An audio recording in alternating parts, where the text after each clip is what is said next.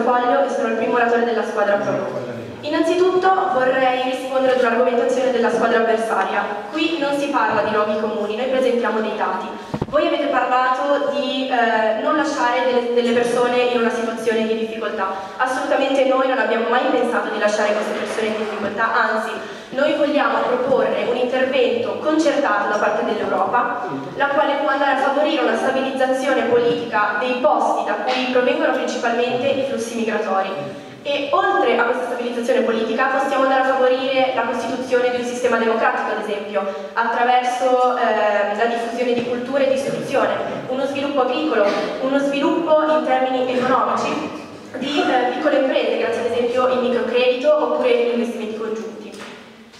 Bene, ehm, avete parlato poi di problemi economici, veniamo ora ai costi.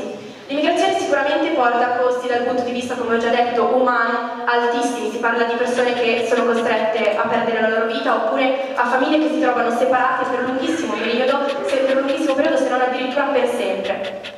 Eh, si parla poi anche di costi economici, vediamo ad esempio i costi dell'immigrazione clandestina, questa sicuramente ha dei costi altissimi, eh, sicuramente nel controllo, nel recupero in mare dei profughi, Mare Nostrum ha richiesto all'Italia di pagare addirittura oltre 2 milioni di euro che l'Italia si è trovata a spendere completamente da sola, abbandonata dall'Europa. E abbiamo poi la gestione dei centri di accoglienza. Ma l'Italia dove può trovare tutti questi costi, tutti questi soldi? Ci troviamo in un periodo di crisi, di conseguenza siamo costretti a fare delle scelte, per trovare questi soldi potremmo ad esempio ridurre i servizi degli ospedali oppure ridurre il numero di, do di docenti all'interno delle scuole, siamo costretti a fare delle scelte.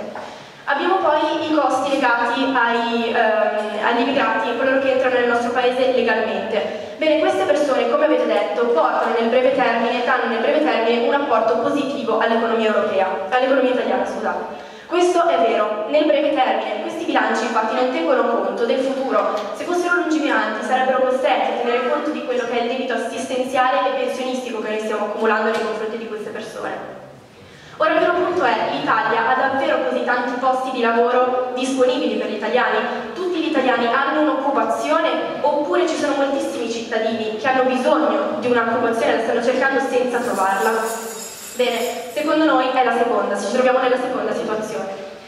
Eh, ci sono, di conseguenza mi ricollego al discorso del nostro capitano, un paese non dovrebbe tutelare in primo luogo i propri cittadini, la Francia, ad esempio, lo fa. Vige in Francia una normativa che porta un datore di lavoro ad assumere un cittadino francese nel momento in cui, un cittadino scusate, europeo, nel momento in cui non ci sia un cittadino francese disponibile per quel determinato lavoro. E in secondo luogo potrà assumere un cittadino dell'Unione extraeuropea nel momento in cui non ci sia un cittadino europeo disponibile. Beh, allora chiedo voi, non sarebbe meglio se gli immigrati venissero in Italia non per necessità, ma per la loro scelta? Perché a fronte di meno immigrati la nostra potrebbe essere veramente una vera e propria accoglienza. Grazie per l'attenzione.